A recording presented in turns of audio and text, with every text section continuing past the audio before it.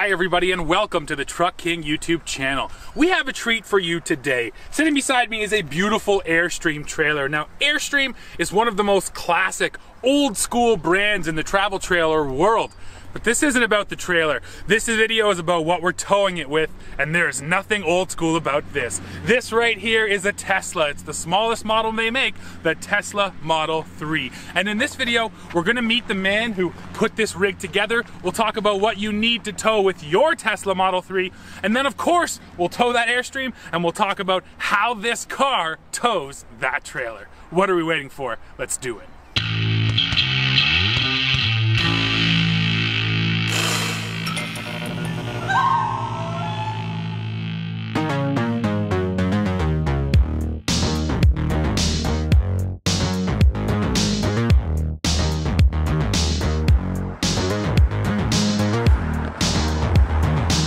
The Tesla Model 3 is available in three different forms. This is the mid-trim level, the long-range all-wheel drive model. According to Tesla, range for this car comes in at 322 miles or 518 kilometers. The run from 0 to 60 happens in 4.4 seconds. Top speed is pegged at 145 miles per hour, and the car tips the scales at 4,032 pounds. The dual motor long range Model 3 sells for $64,990 here in Canada and 40,690 in the US. Now we're going to meet Andy Thompson, owner of Can Am RV Centre just outside of London, Ontario, and the man responsible for setting up this Model 3 towing rig. Andy has been towing with cars for years, and honestly, he's forgotten more than I've ever known about towing. So let's meet Andy now and find out all about this Model 3 setup. So we over the years, we've learned to look at things like the type of suspension a vehicle has, its balance, tire and wheel sizes, all the different factors that go into how it's going to tow a trailer. Uh, one of the things we've learned over the years is tow ratings have very little to do with how well a vehicle tows. Uh, you can buy horrible, terrible tow vehicles with high tow ratings. You can buy vehicles with little or no tow rating that tow and work extremely well. So we look at all the factors that go into the vehicle, not an arbitrary number that's been pulled out of the air. So the um, so the Tesla was just a, a continuation. I, I didn't think they were really viable. I didn't think the range would ever work. But we kept doing Model X's for people, and I was pretty impressed how well they towed. The Model X uh, does have a 5,000 pound tow rating and a 5,000 pound, unfortunately, just a weight carrying hitch for it. But on a smaller, like a 22 footer so, that, that works quite well. The, um, I was driving to Florida last fall and I got thinking about it. I went, you know, the Model 3 is so much more efficient than the Model X. I could probably tow a good sized trailer if I made it more efficient and still get decent range out of it. And I thought I could probably get 100 miles, and, but then I'd have to charge for an hour.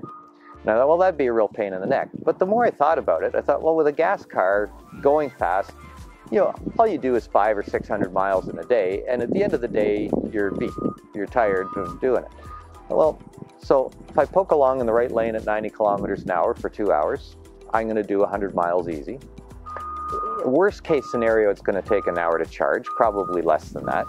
So, but worst case, I'm going to do 100 miles every three hours, but it's going to be a very relaxing three hours. And while the car's charging, instead of having to wait in a coffee shop or sit in the car, I can go in the Airstream, I can have lunch, I can lay down, have a nap if I want. And so I could probably do that five or six times in a day and still do a five, 600 mile a day towing the, towing the trailer. So that's, uh, that's our theory behind it. I was going to take it out to Denver this summer to the Airstream rally. Of course, COVID kind of killed that. So I haven't actually done a 500 mile day yet with it. I've done lots of couple of hundred mile trips sort of thing, but haven't tested that theory just yet.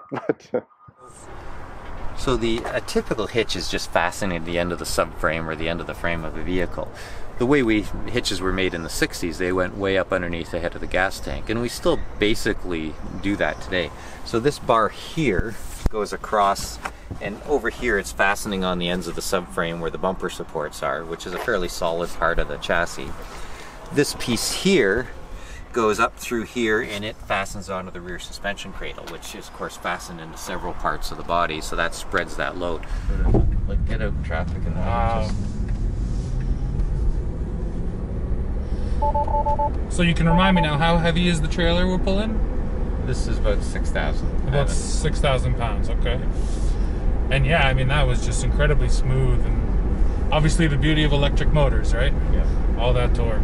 Yeah, and it's instant, so you just step on it and it goes. You don't have to wait for a turbo to spool or a transmission to shift. It's just It's right there. Oh, it's right there. Huh. You know, part of what an airstream, beauty of an airstream is the center of gravity is very low, and so is this one. So It feels so good. That's Yeah. crazy. yeah, you can, uh, That's really impressive.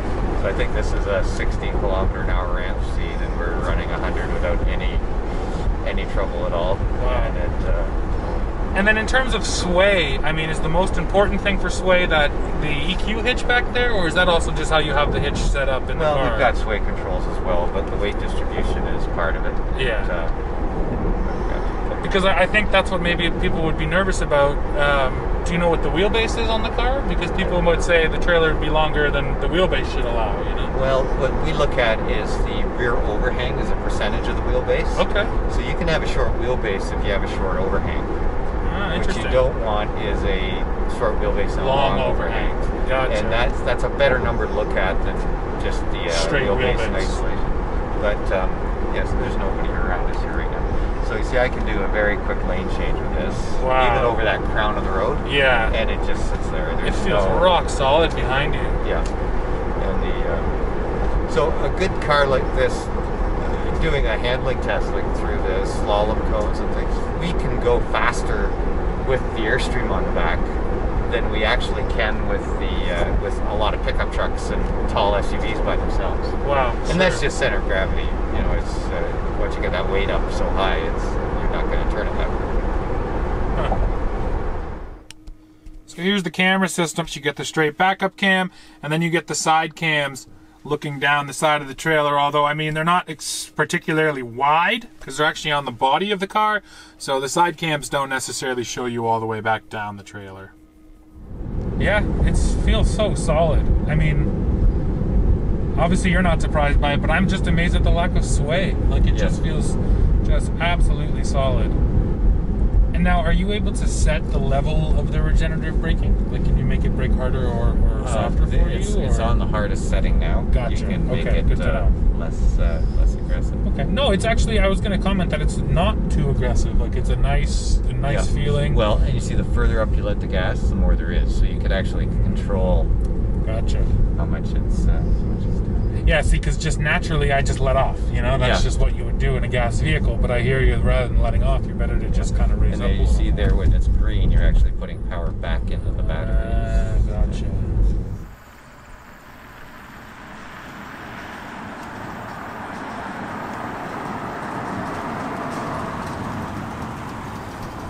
All right, Dad. So I've already had my go. Um, it's a very different towing experience, but super solid. I mean, it's unbelievable to me how good this thing felt.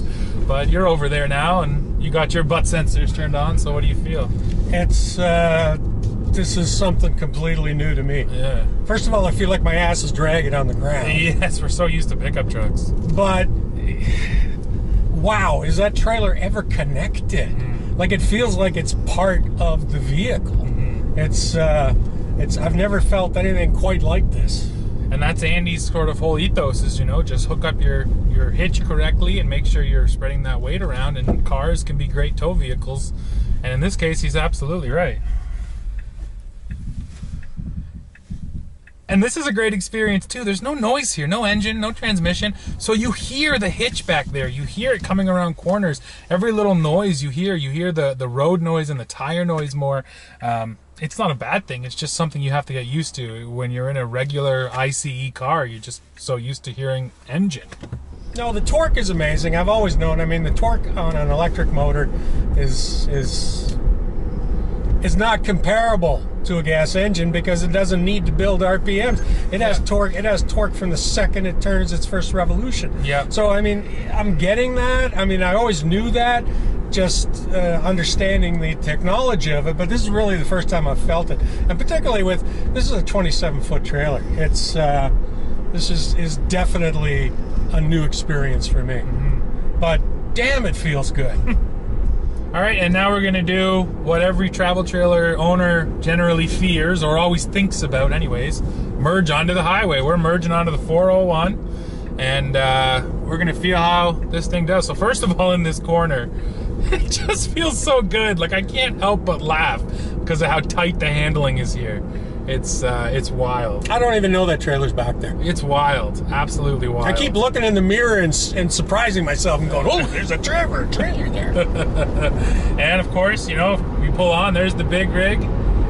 And this thing just has power, more power, more power, more power.